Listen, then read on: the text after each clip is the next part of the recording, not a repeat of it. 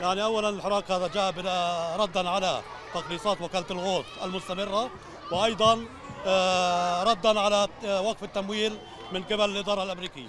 إحنا جايين اعتراضا للوكالة وعلى قرار ترامب يغير عاصمة فلسطين وإنهم بدهم يسكروا الانروا